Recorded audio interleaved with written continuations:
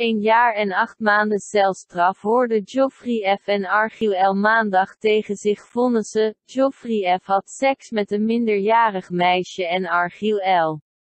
had het meisje tegen haar wil naar een woning. Met het vonnis blijven beide mannen vrij. De politie kreeg op 10 maart een melding dat een meisje getrokken werd naar een woning. Een poosje later kwam Geoffrey F. op een fiets naar de woning. De medeverdachte verliet toen de woning. Het slachtoffer verklaarde dat ze meerdere malen seks heeft bedreven met Geoffrey F.